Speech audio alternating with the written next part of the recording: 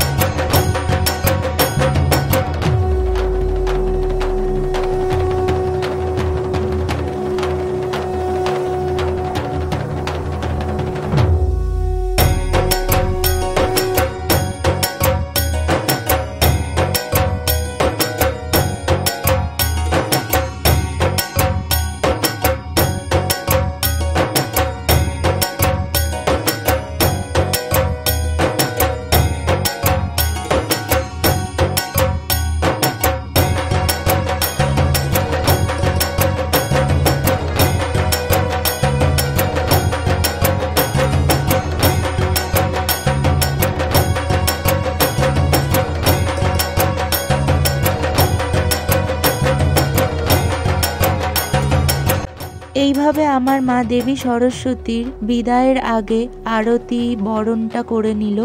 তোমরা সবাই কমেন্টে জয় মা সরস্বতী লিখতে ভুলো না। আর ভিডিওটা ভালো লাগলে অবশ্যই লাইক করো এবং কেমন লাগছে ভিডিওটা, কোন পার্টটা সবচেয়ে ভালো লাগছে সেটা কমেন্ট করে জানিও।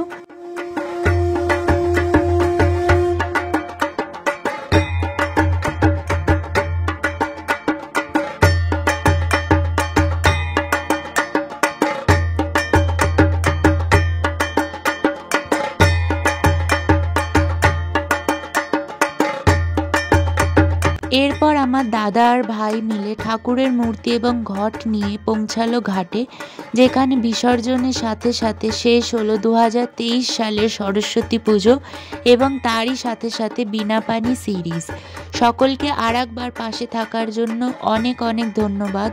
আর তোমরা আমাকে যেই ভালোবাসা দেখিয়েছো সেটা এইভাবেই দেখাতে থেকো আমার চ্যানেলকে। সকলকে আর একবার অনেক ধন্যবাদ।